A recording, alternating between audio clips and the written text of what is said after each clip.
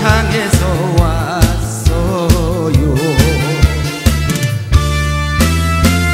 수박 따고 고추 따고 장어도 키우며 가끔은 고향성에 소풍도 갔어요. 어머니 품속 가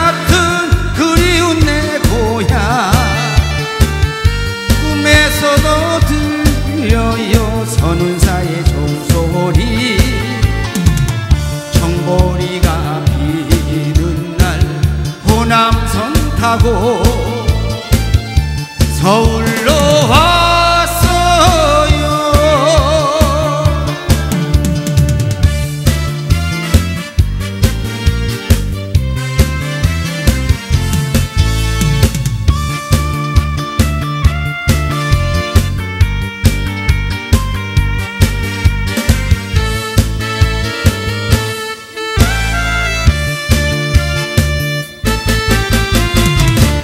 어디서 왔느냐고 물으셨나요? 어, 남쪽 산간마을 고창에서 왔어요. 수박 따고 고추 따고 장어도 키우며 가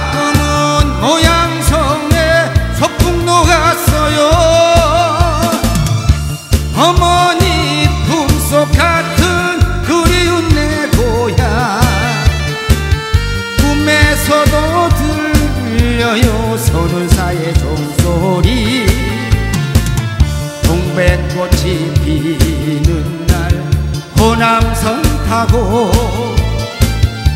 서울로 왔어요. 동백꽃이 피는 날 호남선 타고 고창에서 왔